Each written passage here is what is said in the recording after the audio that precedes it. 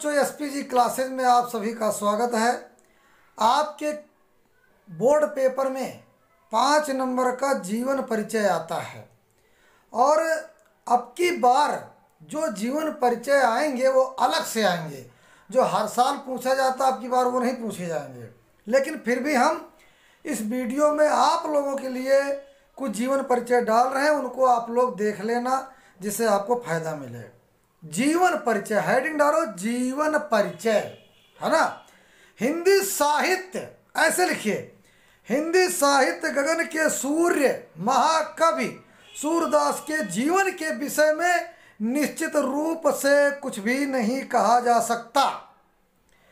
अंत साक्ष्य तथा किवदंतियों के आधार पर निम्नलिखित तथ्यों का पता लगाया गया है कि डॉक्टर हरिशरण शर्मा के मतानुसार सूर्य का जन्म सन 1478 ईस्वी के आसपास मथुरा से आगरा जाने वाली सड़क पर स्थित रुनुकता, है ना, रेणुका नामक स्थान के निकट शाही नामक ग्राम को माना जाता है।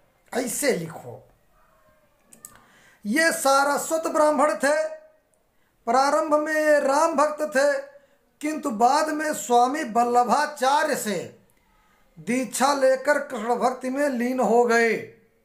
सूर्य ने वल्लभाचार्य की आज्ञा से कृष्ण चरित्र का गान किया।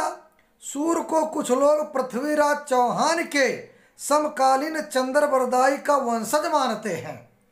सूर्य अंधे थे जन्मांध थे अथवा बाद में अंधे हुए, इस विषय में विद्वानों में मतभेद है। परंतु अब पुष्ट प्रमाणों के आधार पर उनकी जन्मांधता प्रमाणित हो चुकी है, यानी वो जन्मांध थे है ना? सन पंद्रह सौ तिरासी ईस्वी में उनका परलोकवास हो गया। अब आगे रचनाएँ लिख दो, बस हो गया काम। रचनाएँ लिखना लिखना सूर सागर, सूर सारावली तथा साहित्य लहरी।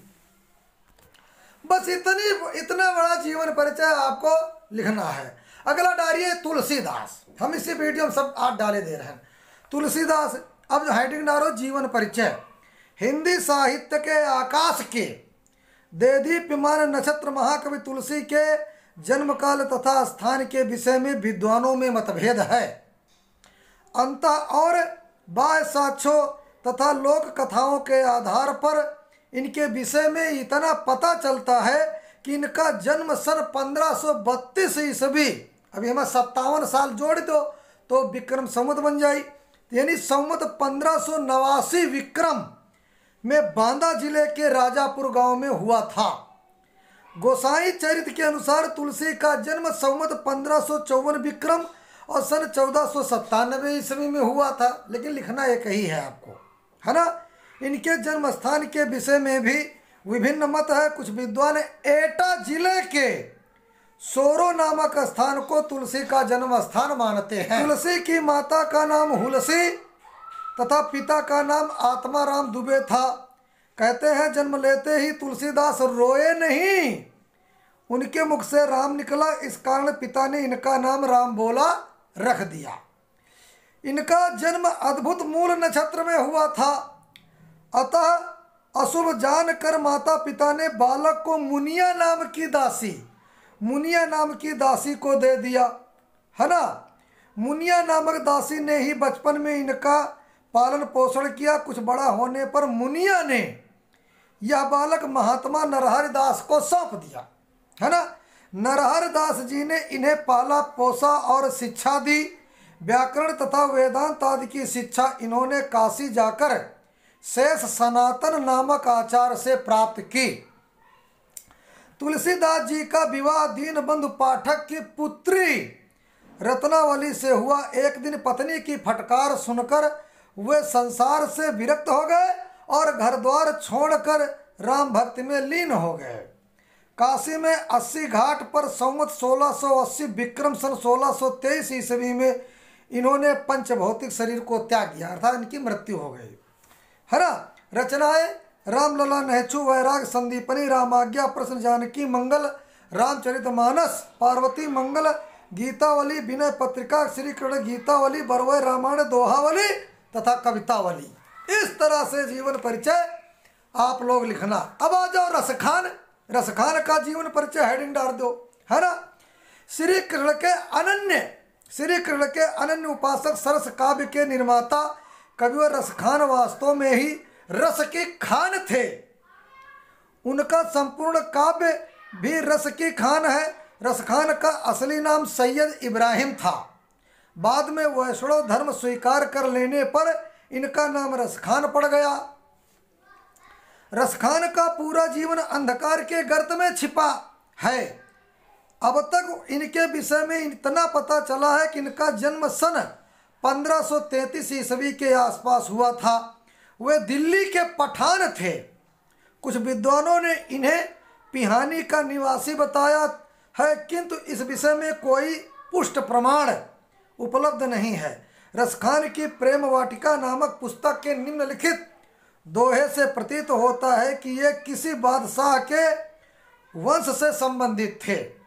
देख गदर हित साहिबी दिल्ली नगर मसान अचिन बादशाह वंश की ठसक छाणी रसखान।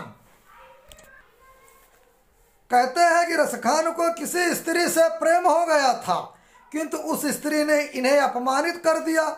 इस कारण इन्हें वैराग्य हो गया। तब इन्होंने गोसाई विठल नाथ से दीक्षा लेकर वैष्णव धर्म स्वीकार कर लिया, तभी से इनका नाम रसखान हो गया। सन 1618 ईस्वी में इन्हों, इनका देहांत हो गया। प्रेम वाटिका अब रचना डारो प्रेम वाटिका तथा सुजान रसखान। ये के बाद बच्चों, बिहारी लाल हेडिंग डारो जीवन परिचय, है ना? रीत काल के महान कलाकार, महाकवि बिहारी का जन्म सन 1603 ईस्वी में ग्वालियर के निकट बसुआ गोविंदपुर नामक गाँव में हुआ था, है ना? वे ये मथुरा के चौबे थे। पिता का नाम केशव राम था। आठ वर्ष की आयु में इनके पिता इन्हें अपने साथ और अच्छा बुंदेलखंड ले गए इनके गुरु आचार्य केशव दास थे। बिहारी का बचपन ओरछा में बीता, युवावस्था में वे अपनी ससुराल मथुरा जाकर रहने लगे थे। किंतु ससुराल में उचित सम्मान न मिलने के कारण ये वहाँ से कन्नौज के राजा मिर्ज़ा जय सिंह के दरबार में चले गए। यहाँ उन्हें पर्याप्त सम्मान मिला। कहते हैं कि उस समय राजा अपनी छोटी रानी के प्रेम पास में बंधे हुए थे। वे राजकाज की सब चिंता छोड़कर हर समय महल में पड़े रहते थे, तब बिहारी ने राजा के पास एक दोहा लिखकर भेजा, क्या? कि नहीं पराग, नहीं मधुर मधु, नहीं विकास ई काल अली कली ही सो विधेव आगे कौन हवाल? इस दोहे से इस दोहे ही ने राजा की आँखें खोल दी। किसकी? जय सिंह की आँखें। वे ठीक से राज की देखभाल करने लगे। दरबारी जीवन में बिहारी को बहुत सम्मान मिला। कहा जाता है कि राजा जय सिंह बिहारी को प्रत्येक दोहे की रचना पर एक स्वर्ण मुद्रा, यानी असरफी, पुरस्कार देते थे और सन सोलह ईस्वी में इस महाकवि का परलोकवास हो गया। रचना हेडिंग डारो, बिहारी की एकमात्र रचना है बिहारी सत्सई। अब बच्चों, इसके बाद जीवनी आती है सुमित्रा नंदन पंत। जीवन परिचय हेडिंग डारो प्रकृति के अनन्य प्रेमी श्री सुमित्रा नंदन पंत का जन्म 21 मई सन 1900 ईस्वी में अल्मोड़ा ज़िले के कौसानी नामक गाँव में हुआ था। इनके पिता पंडित गंगादत्त पंत धार्मिक ब्राह्मण थे। वे कौसानी राज्य के कोषाध्यक्ष तथा अच्छे जमींदार थे। जन्म के छह घंटे बाद ही उनकी माता सरस्वती देवी का देहांत हो गया था। है ना? इस कारण इनका पालन पोषण उनकी बुआ ने किया। पंत जी की प्रारंभिक शिक्षा अल्मोड़ा में हुई। काशी जयनारायण स्कूल से मैट्रिक की परीक्षा पास की और इंटर में कॉलेज छोड़कर असहयोग आंदोलन में सम्मिलित हो गए। पंत जी को कविता कविता में बचपन से ही विशेष रुचि थी। सन 1956 ईस्वी में उत्तर प्रदेश सरकार ने इन्हें एक लाख रुपए के भारतीय ज्ञानपीठ पुरस्कार से सम्मानित किया। पंत जी जीवन भर अविवाहित रहे। इनका व्यक्तित्व बड़ा प्रभावशाली था। विशाल, ललाट, चमकीली आँखें, घुंघराले बाल, शांत मुद्रा और भाविक प्रकृति के मेल से इनका व्यक्तित्व अत्यंत आकर्षक हो उठा था। पंत जी ने हिंदी साहित्य सम्मेलन की लंबे समय तक सेवा की। कुछ दिन आकाशवाणी में भी काम किया। भारत सरकार ने इन्हें पद्म भूषण से अलंकृत किया था और सन 1977 ईस्वी में सरस्वती के इस अनन्य पुजारी का स्वर्गवास हो गया। रचनाएँ लोकायतन वीणा पल्लव गुंजन ग्रंथि युगांत युगवाणी ग्राम्या युगपत उत्तरा अतिमा कला और बूढ़ा चाँद चिदम्बरा तथा शिल्पी। अगला जीवन परिचय है महादेवी वर्मा का।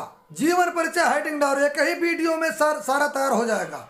वेदन सुश्री महादेवी वर्मा का जन्म सन 1907 ईस्वी में फरुखाबाद नगर में होली के दिन हुआ था है ना? इनके पिता श्री गोविंद प्रसाद वर्मा एक अच्छे विद्वान थे। इनकी माता हेमरानी भी अच्छी विदुषी विदुषी थी। केवल नौ वर्ष की अवस्था में ही इनका विवाह रूपनारायण सिंह के साथ हो गया था। विवाह के बाद एमए तक शिक्षा प्राप्त की। संगीत और चित्रकला में इनकी विशेष रुचि थी। आप प्रयाग महिला विद्यापीठ में प्रधानाचार्य रहीं तथा उपकुलपति पद पर भी आसीन रही उत्तर प्रदेश सरकार ने इन्हें विधान परिषद की सदस्य नियुक्त कर सम्मानित किया। भारत के राष्ट्रपति ने इन्हें पद्मश्री की उपाधि से सुशोभित किया। हिंदी साहित्य सम्मेलन ने इन्हें नीरजा पर पाँच सौ रुपये का सेकसरिया पुरस्कार तथा यामा पर बारह सौ रुपया का मंगला प्रसाद पारितोषिक देकर सम्मानित किया। पति द्वारा परित्यक्ता, यानी पति ने इनको छोड़ दिया था, पति ने इनको छोड़ दिया था। पति द्वारा परित्यक्ता होने के कारण इनका जीवन वेदनामय रहा। इनके साहित्य में भी इसी वेदना की टीस है। इन्होंने चाँद नामक पत्रिका का संपादन भी किया। इन्हें ज्ञानपीठ पुरस्कार से भी सम्मानित किया गया। 11 सितंबर उन्नीस सौ सतासी को महादेवी जी का स्वर्गवास हो गया। महादेवी जी का आधुनिक हिंदी साहित्य के निर्माताओं में विशेषकर छायावादी कवियों में विशिष्ट स्थान है। रचनाएँ इनकी प्रमुख काव्य कृतियाँ निहार रश्मि नीरजा सांदगीत, दीप शिखा और यामा है। इसके बाद बच्चों आते हैं राम नरेश त्रिपाठी, जीवन परिचय। है ना? हिंदी के ख्यात प्राप्त कवि राम नरेश त्रिपाठी का जन्म सन अठारह ईस्वी में जौनपुर ज़िले में कोयरीपुर नामक गाँव में हुआ था। यह जात के ब्राह्मण थे। इनके पिता पंडित रामदत्त त्रिपाठी भगवत, भक्त ब्राह्मण थे।